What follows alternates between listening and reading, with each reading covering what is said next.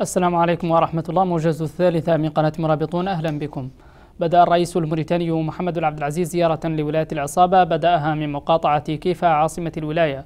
وقد أعطى الرئيس على الانط... وقد أعطى الرئيس على الانطل... على اطلع على انطلاقة أشغال طريق كيفا بومديد كما زار مدرسة المعارف والمستشفى الجديد بالولاية وأشرف على توزيع بعض المعدات الرياضية. هذا وتستمر الزيارة أربعة أيام وينتظر أن تشمل مختلف مقاطعات الولاية. قال الرئيس الدوري لكتلة أحزاب المعاهدة من أجل التناوب السلمي رئيس حزب التحالف الشعبي التقدمي مسعود بالخير إن له مآخذ على الوثيقة التي تقدم بها المنتدى الوطني للديمقراطية والوحدة إلى النظام. وإنها وقال إنها تحاول إقصاءه من الحوار المرتقب بين المعارضة والنظام في موريتانيا وأضاف أنه وأضاف بالخير خلال مهرجان سياسي بمقاطعة الرياض. أنه تلقى اتصالا هاتفيا من الأمين العام للرئاسة الموريتانية مولاي محمد الأغضاف أطلعه فيه على مجريات لقائه بوفد المنتدى الوطني للديمقراطية والوحدة مشيرا إلى أنه سيلتقي به بعد عودته من زيارة الرئيس لولاية العصابة.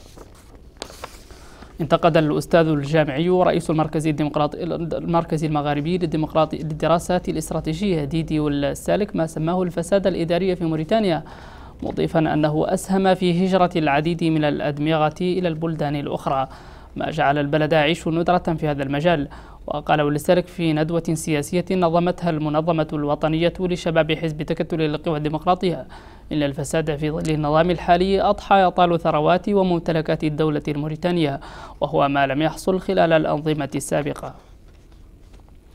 قال عضو اللجنة الدائمة لحزب تكتل القوى الديمقراطية أحمد الأفضل إن اعتماد الدولة الموريتانية في معظم صفقاتها على أسلوب التراضي أسهم في غياب المنافسة وتبذير الموارد وانتقد والأفضل خلال حديثه في ندوة سياسية لحزب تكتل القوى الديمقراطية ما سماه تفويت الفرص على البلد على المستوى الدولي خلال العقد الأخير. نظم عدد من شباب مقاطعة تركيز بن وكشوط مسيرة احتجاجية انطلقت من أمام مبنى الجمعية الوطنية وانتهت باحتجاج أمام عدد من الوزارات للمطالبة بتوفير خدمات الماء والكهرباء والصحة والتعليم.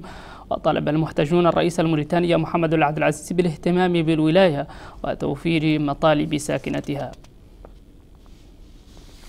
يمكنكم مشاهدينا الكرام متابعة هذا الموجز وغيره من نشرات وبرامج القناة على حساب صفحتنا على الفيسبوك الظاهر على الشاشة. الرابعة موجز إخباري جديد. إلى اللقاء.